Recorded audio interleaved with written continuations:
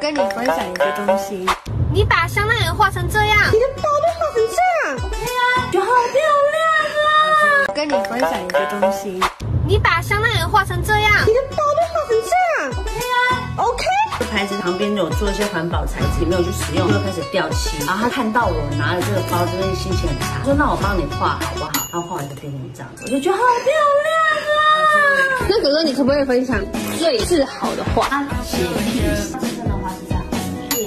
生，他有一次做梦到鬼，把他画下来，然后就希望他可以很 peace。有一次有画一张画，我也非常非常喜欢，哪一张？还有印在 T 恤上，好可爱哟！这是我，这是妹妹，这是王晨。啊，没有爸爸妈妈，他们坐在这里面。